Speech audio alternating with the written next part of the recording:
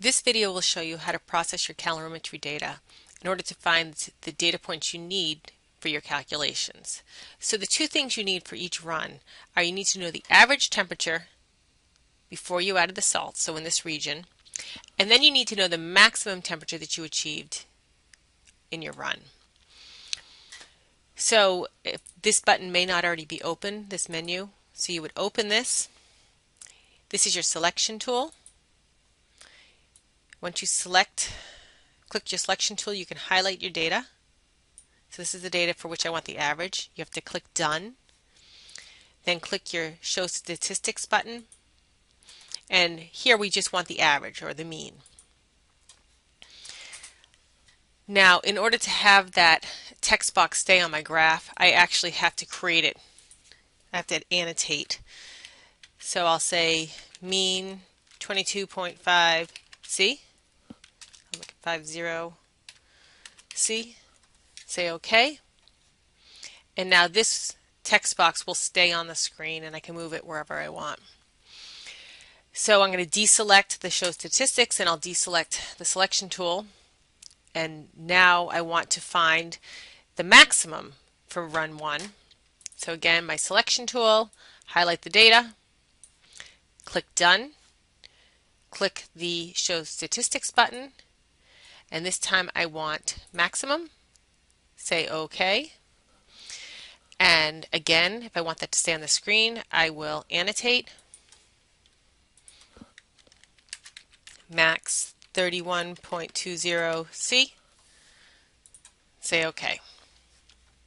Turn off show statistics, turn off selection. Now if I want to do the same thing for run 2, I have to select run 2 so now I'll be able to select the run 2 data.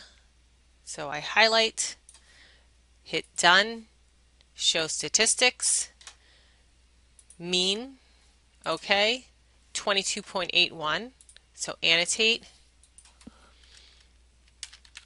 mean 22.81 C. Say OK, turn these off, and then Finally, let's find the maximum. Hit done. Show statistics, maximum. Maximum was 30.03. So again, 30.03 C, say OK, and turn off these buttons. So now this is all the data that I need in order to um, do my calculations and you need some way to get this out. So you have a couple options. This is your sharing tool. So you can put this right up onto an online storage service if you want to. Um, so I'll show you the options.